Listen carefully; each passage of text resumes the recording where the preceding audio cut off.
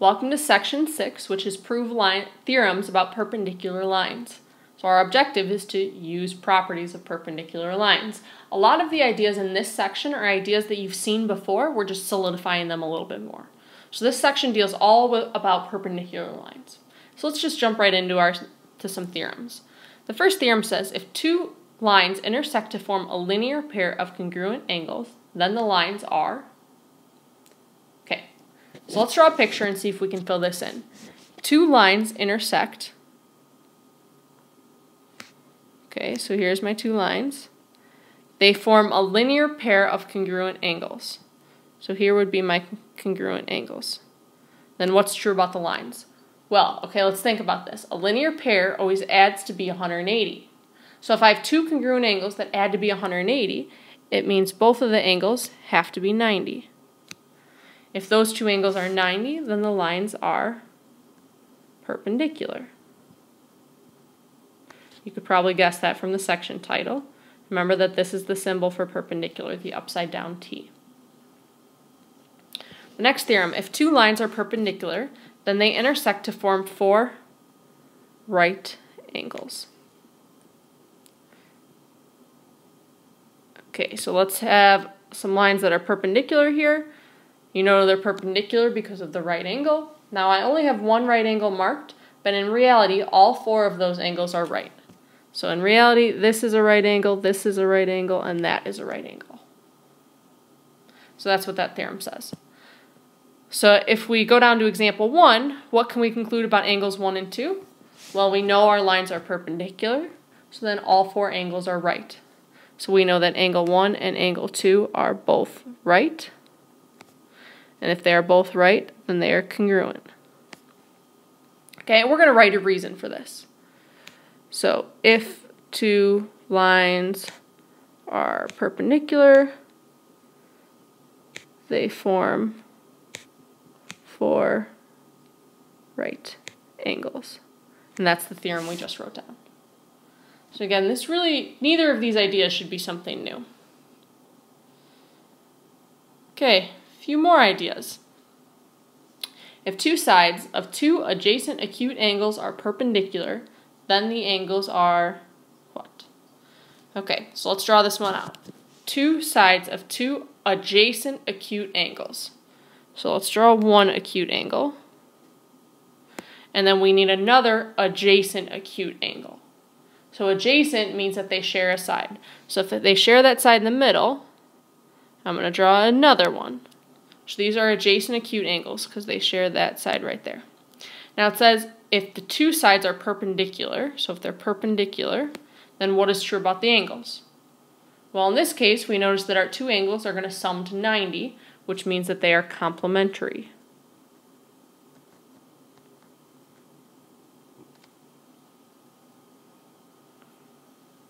Okay, next theorem. If a transversal is perpendicular to one of two parallel lines, then it is blank to the other. Okay, transversal is perpendicular to one of two parallel lines. So I'm going to have to start out with parallel lines. I'm going to mark that they're parallel. Now it says a transversal is perpendicular to one. Then hopefully you can figure out it is also going to be perpendicular to the other. And lastly, in a plane, if two lines are perpendicular to the same line, then they are blank to each other. Okay, so let's have two lines. They're both perpendicular to the same line. Then they are what to each other? Well, in the way that I've drawn the figure, you can see that my two angles are corresponding angles, and they're congruent. If we have corresponding angles that are congruent, that means our lines are parallel. So two lines perpendicular to the same line, that means your original lines have to be parallel. Okay, so I'm not asking you to memorize these theorems, but I am asking you to be able to recognize them in a figure and to be able to use them. Again, you're not you don't have to memorize them, but I expect you to know, for example, that if two lines are perpendicular to the same line, then they are parallel, which you should be able to figure out from a figure. So let's move to the next page. Okay, so example two, it says answer yes or no and explain. So for the first example, is R parallel to S? Okay, so in order to prove that lines are parallel, we need to have some special angle relationships. So if we look at R and S, we need to figure out what is our transversal. So looking at R and S, either M is a transversal or N is a transversal. So if I'm looking at R and S, I can ignore T. If we look at M as our transversal, there's one angle marked on S, no angle marked on R. If we look at N as the transversal, there's one angle marked on S, none on R. So therefore, no. The reason is we have no angles marked on line R. Okay, so let's look at the next one. Is M parallel to N? Okay, so if M is parallel to N, I have three options for a transversal. If I look at T, I have one angle marked on N, this right angle, nothing marked on M. If I look at S, I have one right angle on M, one right angle on N. In that case, yes, the lines are parallel because they are both perpendicular to line S. So that's what the theorem on the previous page said. If we have two lines perpendicular to the same line, then they are parallel. In this case, our two lines, or our two angles that are right angles, are consecutive interior angles. They're supplementary, which makes the lines parallel. Okay, the last one I would like you to do on your own, please. I would like you to pause the video, try the last part of example 2, and come back when you are finished, please. Good luck.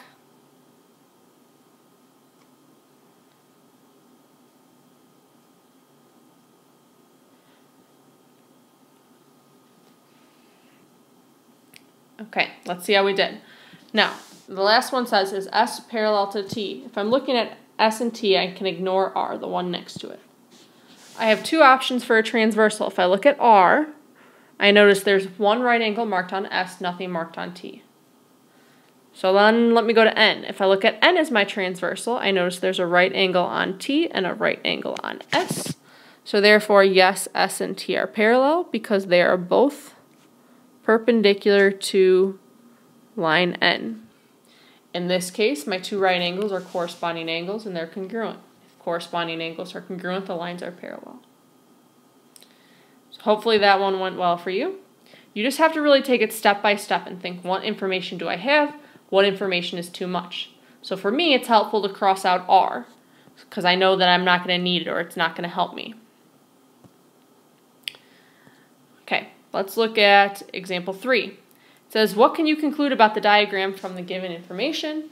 Explain. So I'm going to do the first one with you and you're going to do the second one. So in the first one, we're told that angles 1 and 2 are congruent. Now, you know that they're congruent and that they're a linear pair.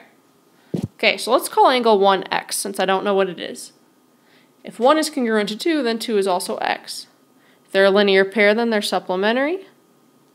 So x add x equals 180, 2x equals 180, so x equals 90. Okay, that means this is a right angle and this is a right angle. So from the diagram, we know that angle 1 and angle 2 are both right which tells us that line R is, is perpendicular to line S. In terms of explaining, this is going to be my work to explain. I don't need a full written out explanation. This work is sufficient. Right now, pause the video and try the second part of example 3, please.